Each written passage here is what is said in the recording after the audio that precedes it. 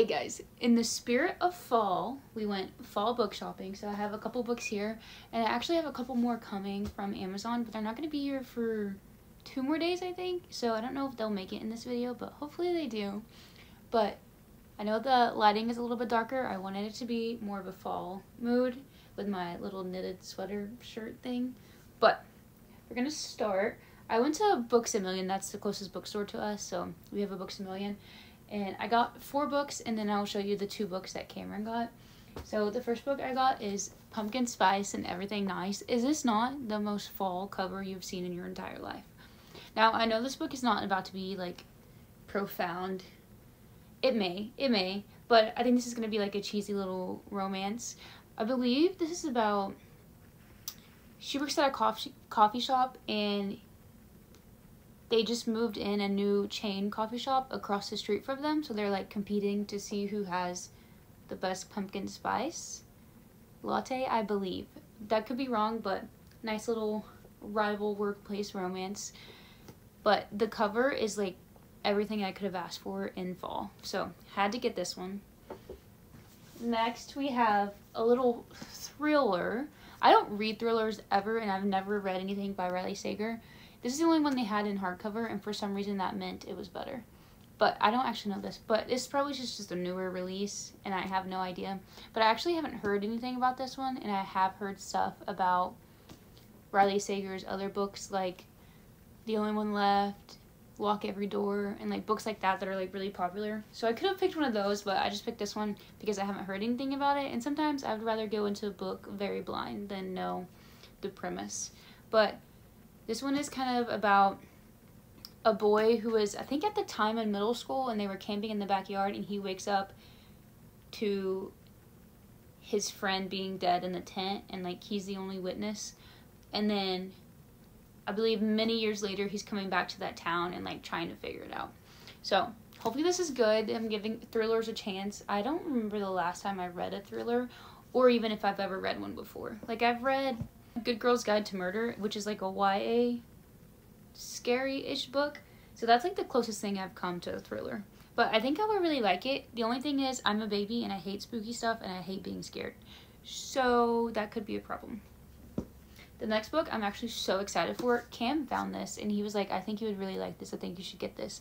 But now that we've gotten it, he's like, I actually want to read it too. We got to the car and he was like, wait, let me see that book again.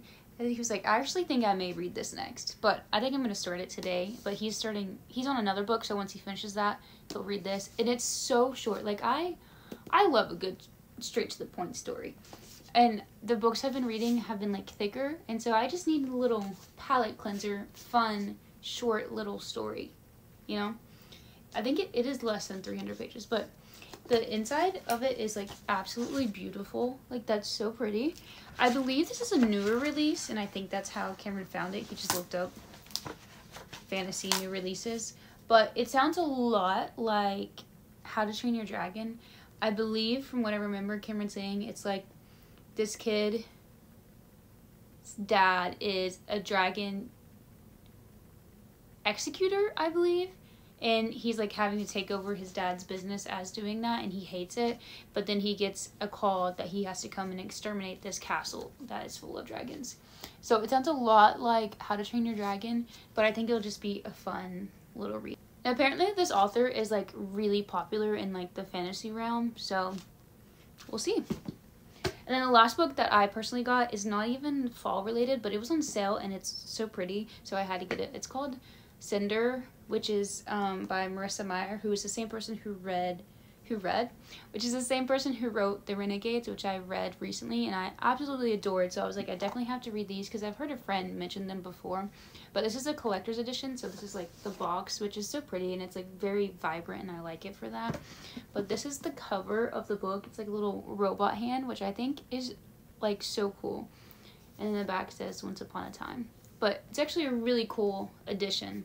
And I don't know if like the other books in the series come in a collector's edition like this, but hopefully they do and I can get more so that they'll be like matching, but it's pretty nonetheless.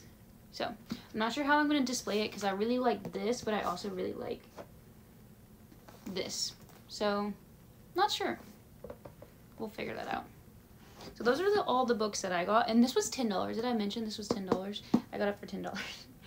I um it was on sale in Books a Million for like twelve dollars, and with the teacher's discount, you get a couple dollars off. So it was only ten dollars for a thirty-five dollar book. Now on to the books that Cameron got for himself. I did not pick these books, so I have no idea what they're even about. But we have Everyone on this Train is a Suspect, which is a thriller, and I'm assuming it's Everyone on the Train is a Suspect. Um, I actually read a little bit of this, like the little blurb, whatever it is, and it's about like it's a community of serial killing like writers, I believe, who are taking a train to this convention of sorts. That could be so wrong, but this is a short little thriller, and I think thrillers are usually shorter. But Cam got this, and I may actually read it if he reads it and says that he like likes it. So that's the first one. And then he got this new series, I'm assuming, because it says one on it. The Silver Blood Promise, The Last Legacy.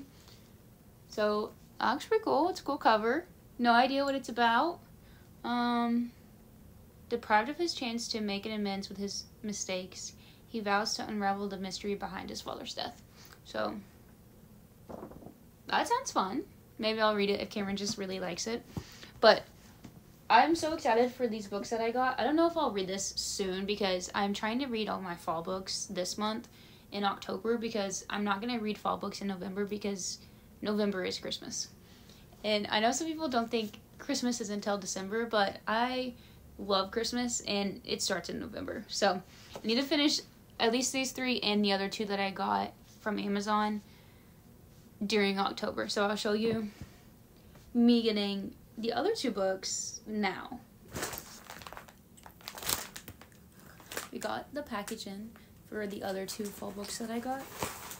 Here they are. Okay.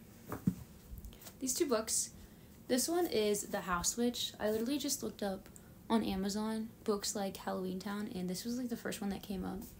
It's very, like, it feels very heavy, like, and it's very thick, but it's really not. Well, it's like 500 pages, so kind of is thick. It's called The House Witch by Delemhach. But it's a really cute cover, and it has a cute little cat. So it's about this guy who is a witch, I believe, and he left his town because he doesn't want people to know that he's a witch. And he started working for this king and queen or royal family. And I think eventually they found out that he's a witch too. And we'll see. I don't really know. The back is also really cute too, but I know he has a little sidekick cat, so perfect for fall. And then the next one I got is Rewitched by Lucy Jane Wood. This one is a really cute cover as well. I believe she has a bookstore and she's like struggling to keep it up. I don't know for sure if it's a bookstore or not, but she has some sort of business that she's struggling with. And so she's always busy with that and she never works on her magic, which she is a witch as well. She doesn't really work on her magic, but she gets the task of proving herself or she will lose her powers by the end of the month. And so, it's set in October. So she's like fighting to keep her powers. But it's honestly adorable. And this one's not as thick, so this will be easier read. This one is 370. I really like these. Like this one's very fluffy. But those are all the books for my fall TBR. I have started the dragon book and I've started the vlog for that one. But definitely subscribe right now if you have not yet so that you can see me read all of these fall books and watch my fall vlogs. I'm also trying to get to 500 subscribers soon, maybe by the end of the month or by the end of next month. So we'll see if that's possible. But I'm gonna go read these, but I'm also gonna do a couple other little fall things, and I'll be recording it for my next video. So, thank you for watching. I will see you next time. Whoa. Did y'all see that? Thank you for watching. I'm trying to do it again. What? That's funny. Okay, see you next time.